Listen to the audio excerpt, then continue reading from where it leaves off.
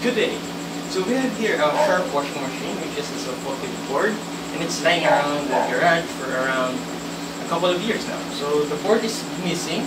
I already removed the board. I'm looking for a replacement board for this type of fully automated washing machine. So I found later on that there is a universal washing machine board that we can use in this old washing machine. So it has along with it a panel board. Okay, this is the motherboard and this is the panel board. We will not be using the old panel board because we have a different ready schematic diagram or a different fully automated washing machine board. Okay? Of course, first things first, we need to clean up the washing machine before we fully uh, we fully fix the washing machine.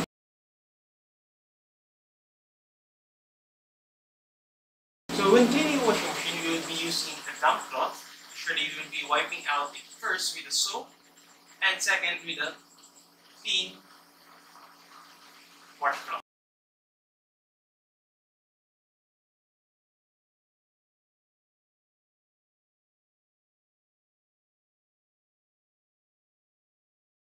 So take you around to the washing machine. Okay, this is the washing machine.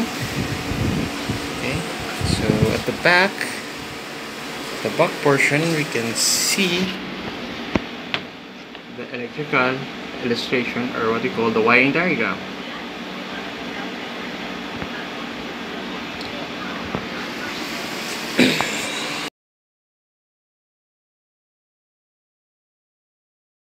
Okay now, here are the things that we need. We need the schematic diagram, the illustration at the back, so we printed it out. We need the connector, so we'll be cutting out the wires and replacing with a new connector that is suitable for the new board. So we have your board. and we have your uh, bonus water switch.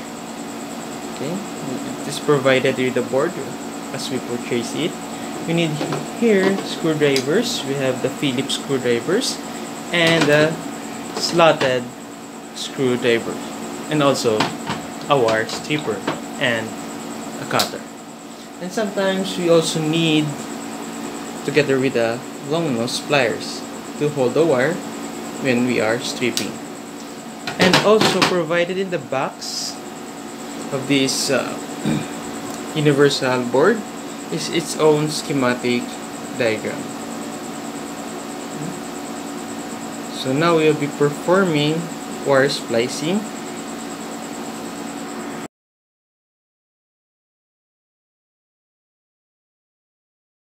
Okay, so here we are. As we finally find it, now we find that this number 7, which is a switch of water level, is not actually a red wire, but a blue one and the switch of the of the door the door switch is both color red. As you can see in the actual okay. Remove the camera. So you can see. So this is the switch. Okay the switch the door switch. As you open the door there would be there would have no continuity.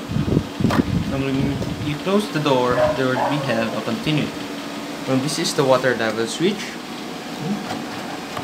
This is the water level. They are both color blue. And as we look in into the connector, so the connector, you can see as number 9. Number 9. Okay.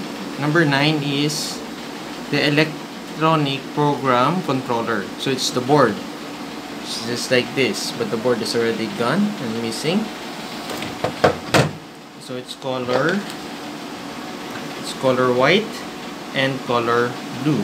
So this is the blue this is the white. But as you can see it has red and blue and blue but here we have just both blue wires and here we have both both red wires okay? So after application.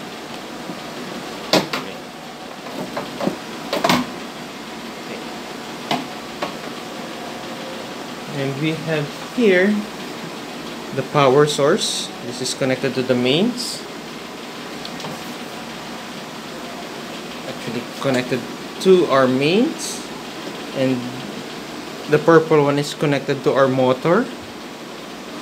Okay, it's connected to our motor. And our assembly capacitor. And the orange and red is the connector of the drain and and the incoming water valve. Okay so this is the incoming water valve. Okay. so what we're going to do we're going to remove the wiring so we can have all the wiring. The problem is we have your uh, the new new board. We have uh, we have two uh, two wires connector for the door and we have three wires connected to the water level sensor. Okay, so what we're going to do, we'll remove this electrical tape coating the wire.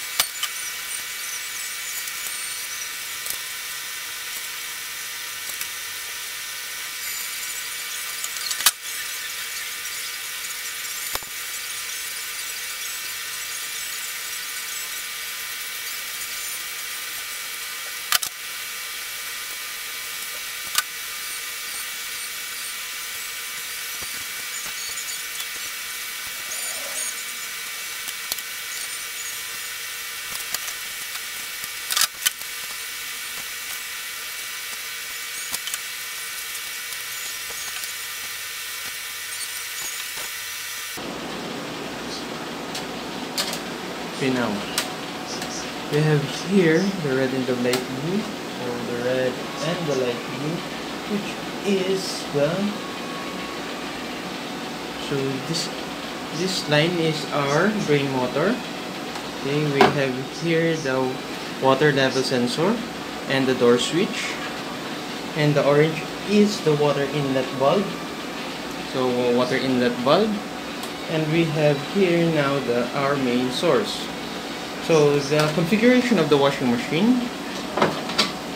Our drain tractors we don't have a toe. It's just drain in a common or drain and a zero. And our water level sensor as you can see here we have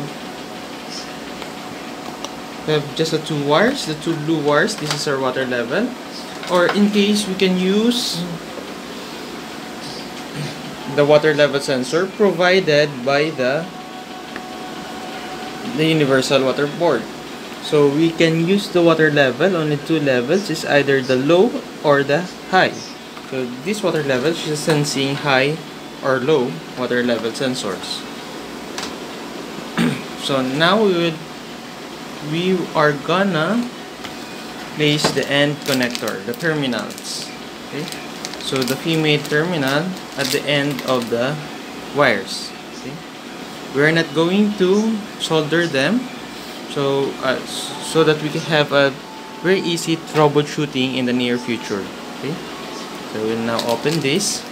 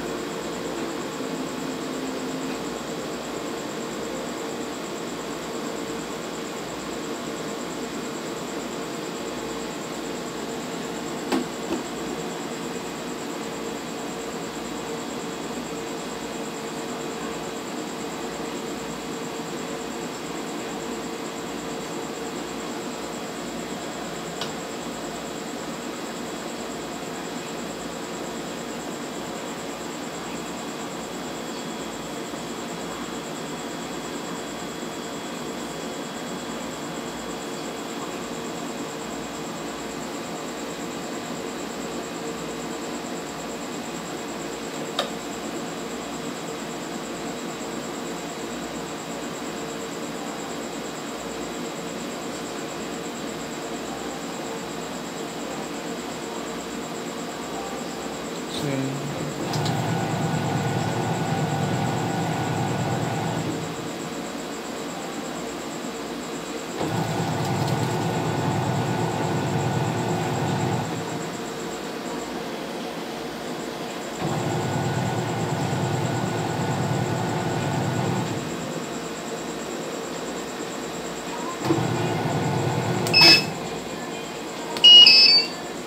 So we are we will fixing it up.